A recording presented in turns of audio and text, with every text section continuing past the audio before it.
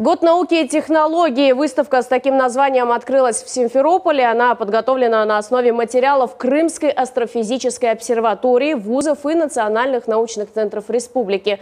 На месте работает наш корреспондент Севиля Миметова. Она расскажет подробнее. Севиля, какие интересные экспонаты успела увидеть?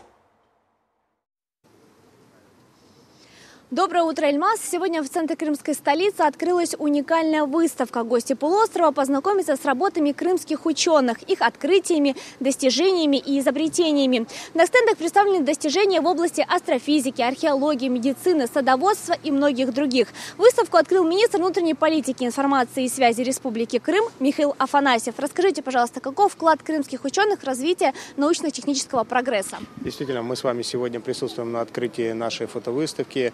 2021 год объявлен годом науки и технологий президентом Российской Федерации. Мы открыли выставку в каждом муниципальном образовании, которая простоит до конца месяца.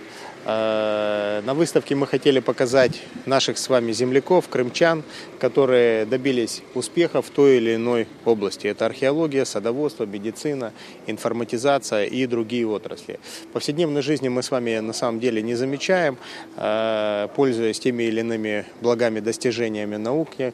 А вот в этой фотовыставке мы хотели показать именно тех людей, которые э, занимались трудной, тяжелой работой и достигли, соответственно, определенных результатов.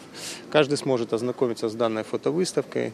Данная работа у нас будет продолжаться. Я уверен, что всем крымчанам будет интересно ознакомиться с теми людьми, увидеть тех людей, которые достигли серьезных успехов в своей профессии. Спасибо большое. Выставку может посетить любой желающий. Она продлится до конца месяца. Студия.